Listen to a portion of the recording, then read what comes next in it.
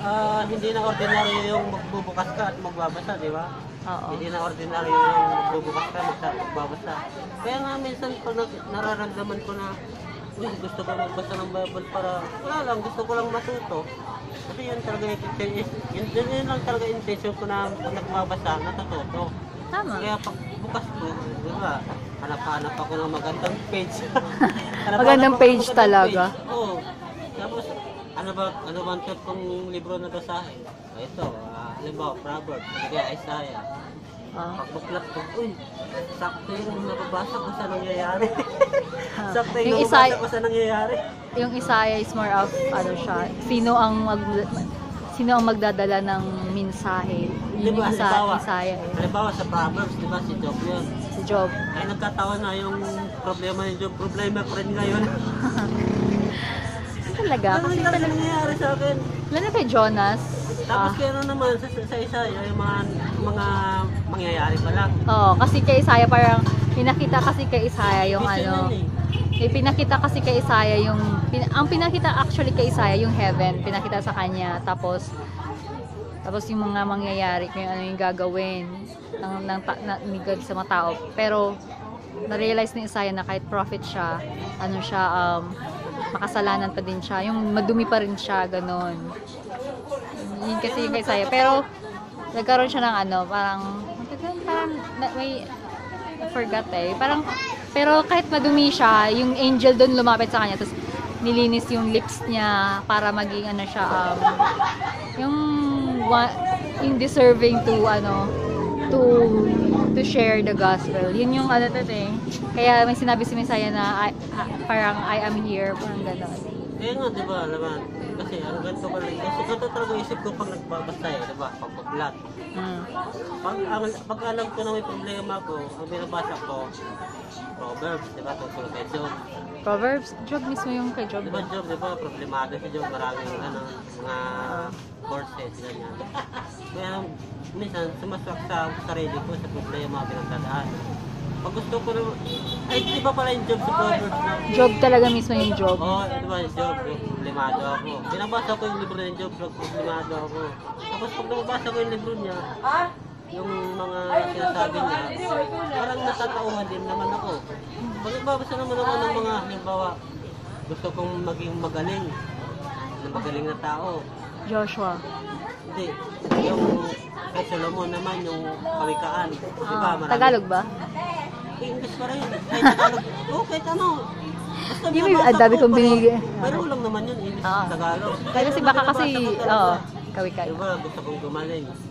Yung kay Solomon naman, yung Nag-pray siya ng ano, wisdom. Uh, wisdom, understanding. Kasi, O wisdom ang pinag-pray niya eh. kasi yung binabasa ko yung Proverbs kasi, pag may kailangan akong maintindihan, may manawaan, di ba, Oo, ako. kasi wi- kasi ma, ma- wise si Oo, ano eh, gumugulo si yung isip ko, may kailangan ako maintindihan. Binabasa ko yung kanya, yung Proverbs. Pag problemado naman ako, binabasa ko kay Job, yung kinusumpa niya yung araw ng pagkasilang niya, mas mabuti para nang mamatay siya. Huwag naman yun.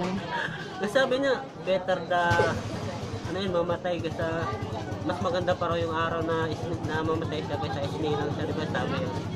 Pero nung sa dulo kasi ng Job, na-realize kasi ni Job na may mali din, may mali pa rin siya. Tapos yung ano naman, Pero pinatawad pa rin din siya tapos nito naman, pag si Kristo naman, si Jesus, pag di ko naintindihan, Yung first, yung four gospel ng New oh, Testament. pag di ko naman naintindihan, Matthew, oh, Luke, Mark, Pag di ko John. naintindihan yung mga ginawa niya sa lupa, yung mga anong nangyayari sa paligid, binabasa ko yung app yung New Testament. Oo. Para sa mga bagong ano, yung yung tip, yung para sa mga taong hindi pa rin nakapagbasa ng Bible at yung parang new new Christian lang ang ang advice na basahin is yung John. Tapos pag ano Kasi naman, madami ka makikita kasi yung about love dun sa John.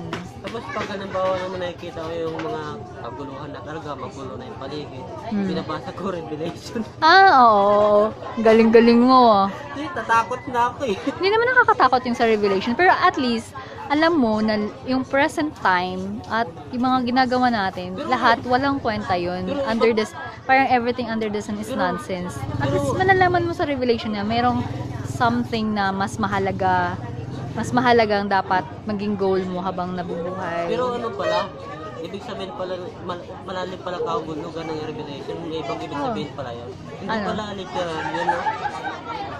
Revela- revelation, nire-reveal niya ang May- future. May dragon, may babae. Ah, yung buntis. Oh, Alam mo ba- Hindi pala literal yun. Iba pala ibig sabihin nun. Hmm, possible. Iba ibig sabihin nun, sinabi ng pastor namin eh. Sino, pas sino pastor yun? Kasi al- alam mo yung yung yung sim- mga, mga simbahan na pinapangaralan, Ah, tapos, mga lugar-lugar, ilang simbahan ba yun? Pito o siyam? ayun yung mga old churches noon, tapos na Yung yun. mga nagkakasala, di ba? Yun yung lumang churches na tinayo ng mga apostles. Oo. Sa yung, ano, yun yung mga Colossians, Ephesians, yung nakikita mo mga simbahan doon Oo nga. sa Galatians. Kaya nga pag Yun sila yun. na ako sa mga nangyayari, basta lang ako regulation. Pero ang nakakatakot doon na Pero- part, ayun nakakatakot na part yun is the last day yung mahu, yung magiging red yung sun, mahuhulog yung stars. Hindi, hindi na ako natakot doon. Oh, yung Ilang per- beses ko lang nabasa yung oo. ulit-ulit. Pero sa bagay, hindi ka na aabot. Hindi na tayo aabot doon. Pero, pero pag na, minsan naman, pag nagkaroon ako ng malakas na loob, nagkakaroon ako ng pag-asa, New Testament ulit, pag-asa, di ba? Pag malimado naman, balik kay Diyo. Pag gusto ko naman matuto ng mga wisdom, lalo akong gagaling, uusay. Gusto ko, gusto mo na, oo, kung gusto naman ng leadership, kay Moses, tsaka kay Joshua. Tsaka yung, tsaka yung, um, ju- the, ju- yung mga judges. Oh, yun ngayon, judges, binabasa ko ngayon yun. Diba? Yung judges, sina Samson, si, si, si Jeshua, Jehoshaphat, si, si, si Gil, letter G. Yung ano, tapos makikita mo, makikita mo dun yung pattern doon na ang pinipili ni God, hindi naman talaga yung the best, hindi yung parang kilala na or famous. Lagi ang pinipili niya yung mga hindi napapansin sa society, malili para hindi napapansin sa family. Yun yung lagi pinipili niya. Katulad kay David. Si David, hindi naman hindi naman siya nire-recognize ng tatay niya as anak eh. Si David. ba, Eh. Sabado o Biyernes, pasa ako. Hmm. Minsan nagkakataon, pagdating ng linggo yun ang mensahe. Galing. Parang nagugulat na ako. Paano nangyari yun? Parang nagkataon yun. Hindi yun nagkataon, walang- Sabado, linggo. Ay, Sabado, Biyernes. Pero pagdating ng linggo, parang may kaugnayan sa binasa ko ba yung mensahe? Sa tingin mo magiging pastor ka? Huh? Hindi na. Pwede yun? O, pwede. gusto ko rin yan kasi gusto ko rin. Ah. Alam, alam mo ba, naranasan ko mag-ulit evangelism. Well, Kasi, follow mo pa Alam ako. mo nung, nung panahon ni Pastor Noli, talagang naporsige niya akong mag, ano eh, mag, mag, magpakatotoo, di ba? Katotohanan yung tungkol kay Christ, Ah, katotohanan. oo. Ang una niyang, una niyang tinatanggap sa akin yung kasalanan ko na aminin ko yung kasalanan ko. Kasi Ah, ah, ah. dati kasi iniisip ko na perfect ka. Mabait na mabait ka. Pwede rin, pero in, kumbaga, hindi ko iniisip na, di ba, alam mo naman, pagpalaway, ang pinaglalaban, katwiran. Oo, palaaway ka. Oo. Kasi ang iniisip mo, tama ka, wala kang kasalanan, kaya lumalaban ka. Oo. Kaya nung naging pastor si Noli, pastor Noli, pinaunawa niya sa akin na nagkakasala ako hanggang sa tuloy-tuloy na siyang nagpipreach. Umatin ako palagi, sumasama pa, pa house to house. Hanggang nadadala na niya ako, hindi ko alam. Tapos nag, nagulat na nga lang ako, nag-evangelize ako doon sa may dati na tinupahan. ano talaga? Salmon, di ba Sino kasama? doon? Oh, sino kasama mo? Ak- wala ako lang, sa Salmon Squatter. Alam mo ba Oh. pinagsasabi ko, naalala ko? Oo, ano na. Sabi ko, di ba, ang alam ko, squatter, magulo. Oo. Maraming away, maraming adik, patayan, Oo. away. Kaya ang sinabi ko, pagbigayan, pagtulungan, magmahalan. Yung tatlong yung sinabi ko, magbigayan, magtulungan, magmahalan. Kasi ang natutunan ko sa pag-evangelize ang tinuturo mo, kapag di mo sinasabi, di, di ka nila susundin. Yung natutunan ko sa pag-evangelize, tinuturo mo, pag di mo ginagawa, di ka nila susundin. Hindi talaga. Kaya ako kasi meron, marunong ako magbigay. Marunong ako tumulong. Marunong ako magmahal. Okay. E di naunawaan nila ako. Tapos yung iba naman, meron din sa akin nagtitim, meron din sa akin nanunukso. Nagtatanong ng mga dapat gawin. In- Inalam nila kung alam ko ba. Kasi sila, di nila alam, pero di nila alam na, di nila alam na sinusubukan lang sila ng, kung ba kinokontrol sila ng Diablo, na Oo, natanungin na- ako. Oo. Parang katulad kay Jesus, di ba? Hinahabol siya lagi ng mga Pharisees para lang magkamali siya. Parang ganun din yun. Yung mga taga doon, di nila alam na na kinokontrol sila ng Diablo para tanungin ako. Pero ang totoo, di talaga nila alam yung diskarte, yung paraan. Pero kinokontrol lang sila ng Diablo. Possible- Tinatanong nila ako, Oo. Tinatanong nila ako, paano anuhin yung ganyan, ganyan. Nakakasagot naman ako. Pero pas pero pwede rin naman na naka, natagal na sila nakakaramdam ng mga pagkukulang sa puso nila tapos walang nakakasagot sa mga katanungan nila. So parang possible na naisip nila na ah, baka alam mo ganon. Hindi hindi naman hindi naman pwede hindi naman pwedeng yung lagi sila yung kina, yung ah, ginagamit ng kalaban. Ganun naman yun eh. Lahat ng tao mayroong emptiness sa puso nila na ano. Hindi nila nararamdaman na kinokontrol sila ng Diablo para tanungin ako. Ganon. Pero ang, ang isip lang nila, may mga diskarte na din nila alam, kaya tinatanong nila ako. Discord. Kasi nagtatanong sila kung paano, eh ganyan, eh ganito, ganyan. Eh, cur- kasi pwede naman curious lang sila. Kasi Kaya nga curious curious lang sila. Hindi naman laging ano. Curious. Pero alam mo ba, kasi nung, Hindi ka naman na-discourage eh. Pag na-discourage ka dahil sa kanila, yun na yung pwedeng sabihin na ginagamit sila ng kalaban para hindi mo maituloy yung gusto mong mo pag-evangelize. Ganon kasi ang isip ko pag nag-evangelism ka eh. Ang isip ko palaging kalaban mo yung Diablo. Tandaan mo yun. eh. Pag nag-evangelize ka, mararamdaman mo talaga yung aura ng Diablo. Oo, sa ba- ah, tinitempt talaga? ka talaga. Or, ki- or hinaharangan ka. Mga tinitempt ka. Mararamdaman mo talaga. Hinaharangan ka. Kunwari, umulan, bumaha. Kumbaga, sa May- salita, ginuusig ka. May may nagdidis may nagdi-discourage sa iyo. May nagpapalungkot sa iyo. Mag-isa ka lang nun? Ako lang kasi, alam mo kasi nung, alam mo nung tumira tayo. Meron akong ano, Alam- brochure na. Tagalog. Pwede kang bilhan tapos Alam mo nung tumira tayo doon. Oo. Nung unang tira ko pa lang talaga doon, naunawaan ko na yung lugar kung anong pagkukulang eh. Pagmama. Yung naunawaan ko na talaga yung lu- lugar kung anong pagkukulang. Nung, kasi, yung lugar na Salmon na yun, balik-balik, baliktad na baliktad siya sa Bohol, sa Baybayan. Diba? Balik, baliktad na baliktad. Oo. Sa Bohol, nagtutulungan, bibigayan, nagmamahalan. Pero, pag nagagalit, nagiging masama. Hmm. Doon naman sa Salmon, wala, nagsasarili sila. Pag nagagalit, nag-iintindihan, nag-unawaan. Nag-iintindihan, nag-unawaan. Kumbaga, nailalabas lang sa loobin, puro, pero umuunawa. Doon naman sa bukon kasi, sa bayan, pag nagagalit kasi, talagang siraan, di ba? Kumbaga, balik, naranasan ko sa buhol yung pang-api, pero dyan sa Salmon, tinuring nila akong parang kapamilya, parang kaibigan, parang kapatid. Kaya naintindihan ko yung sitwasyon nila eh. Kaya nung nadala ako ni Pastor Noni sa pagpapastor, Sayang. Pero na, si Noni, di ba, yung kakaalis lang na pastor, di ba? Nakasalubong ko siya sa malapit sa ano, sa sa Cosmo. Kasama niya yung asawa niya. Galing nga magturo Nung eh. ano, nung nung anniversary ng martial law, naglalakad kasi ako. Ang, ang galing niya magturo. Kasi Modern nga siya eh, modern. Alam Na- niya- maganda siya magturo, kaso nga lang. Alam niya yung problema ko sa buhay. Oh, syempre naman. Kaya nga pastor, ang pastor hindi yan katawagan lang. Ang pastor, ano yan, parang yun talaga yung Parang ro- calling. role mo talaga na calling tawag dyan.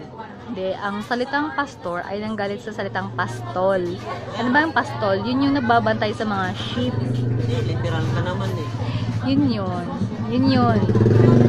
Ang pastor ay galing sa salitang pastol. Ibig sabihin, ang role ng pastor ay binabantayan niya, inaalagaan niya yung mga sheep niya. Sino bang mga sheep? Hindi yung nasa church. Yung church, ang church kasi, hindi yun yung, makinig ka, ang church kasi, hindi yun yung building. Ang church is yung grupo ng tao na naniniwala kay Jesus at sumusunod. Kaya nga, kasama na nga yun. Kaya ginagawa ni Pastor Noni yung yung calling niya, yung passion niya as a Kasama na pastor. nga yun. Hindi yung pastor pastor is parang trabaho, hindi hindi yun ganoon. Ano yun trabaho yun? Ang calling na ibig ko sabihin, yung mismong Diyos ang tumawag sa'yo para yan ang gawin mo sa buhay mo. Diba? Yan ang ibig sabihin ng calling. Tinawag ka ng Diyos para yan ang gawin sa buhay mo. Kasi kung isip mo lang na, ah, ito ang dapat kong gawin, isip mo lang naman yan, wala kang patunay. Eh. Pero kung mapapatunayan mo sa sarili mo na nakakatulong ako sa kapwa, yun talaga dapat mong gawin kasi nakakatulong ka eh. Pero kung di ka nakakatulong, hindi yan ang dapat mong gawin. Di ba? Tama naman ako eh. No. Okay. Kasi Basta, iba, lahat- Iba kasi, iba kasi nagpapastor para gusto lang matuto ng mangaral, gusto magpagaling. Hindi naman nila nasa puso.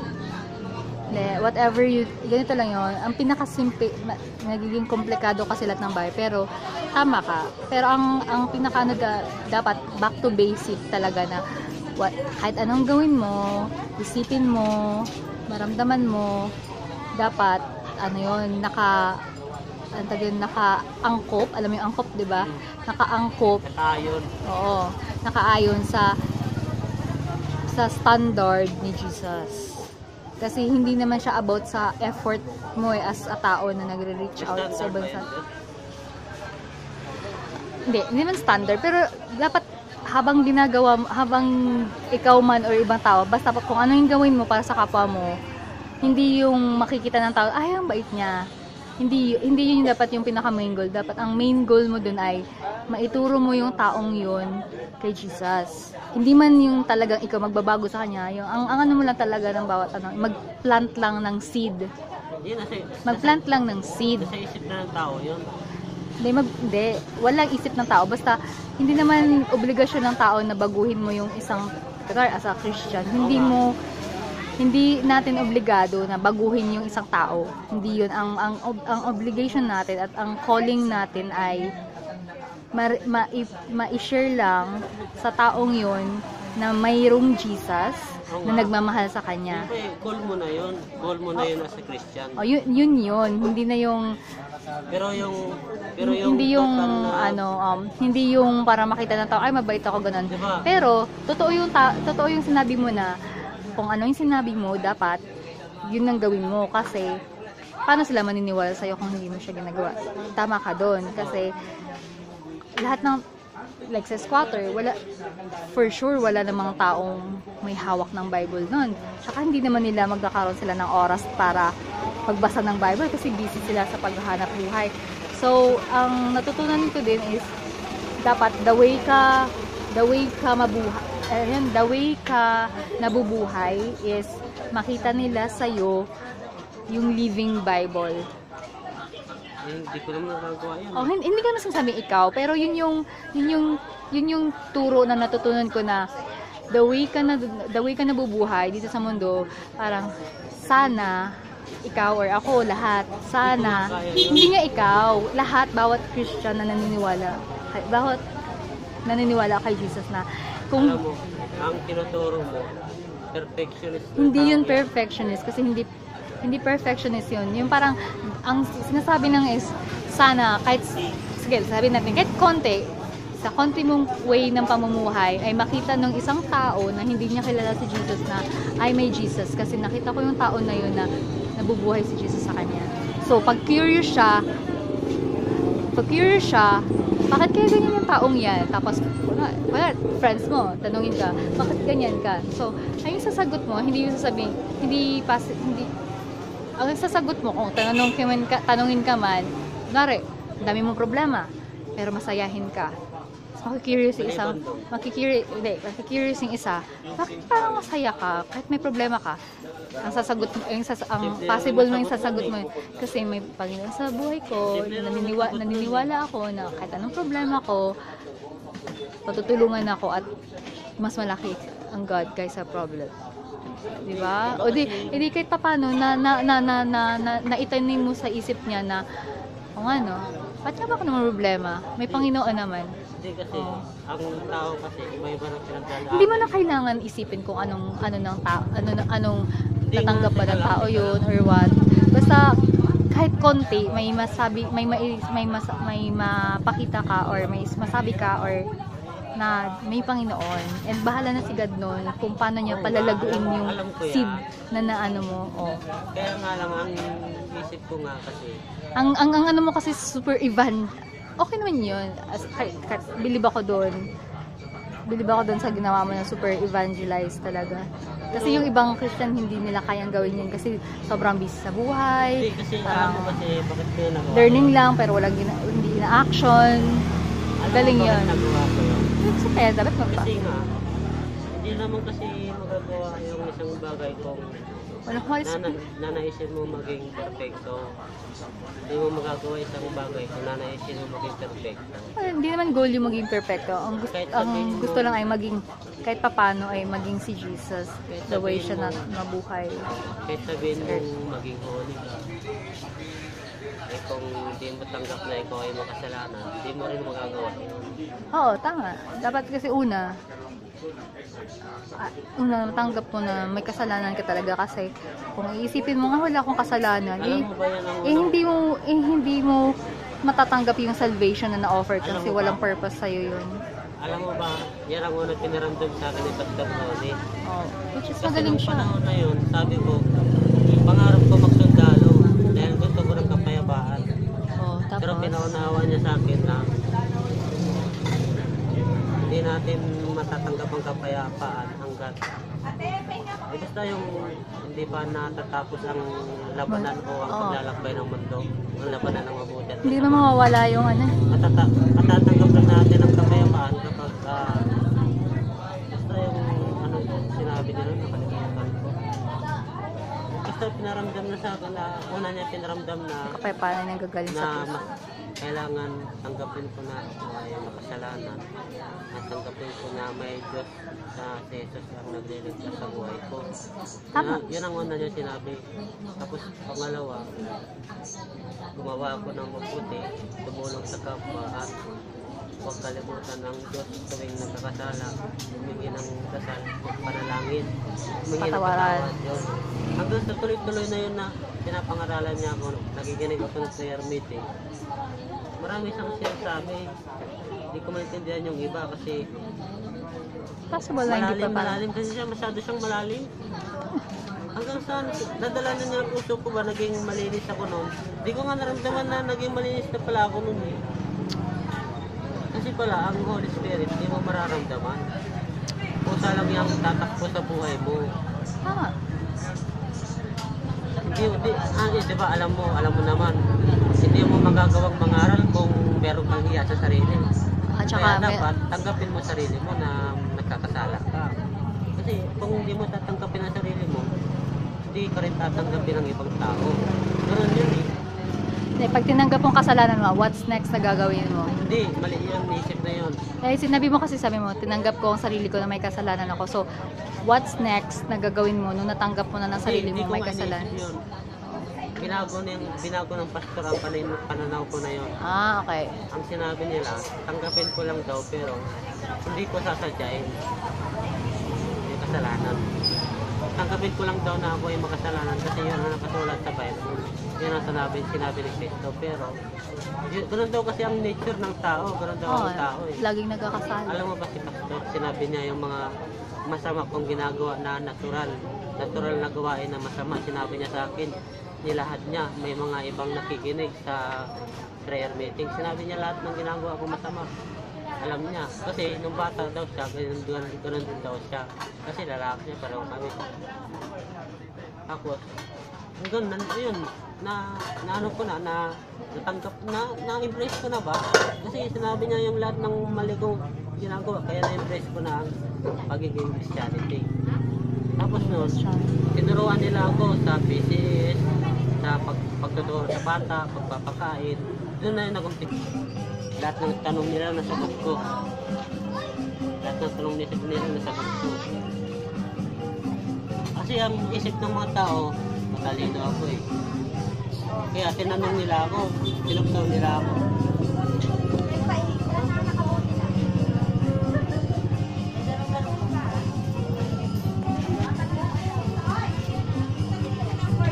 Kilala kasi ako ng mga tao. Para mas may organize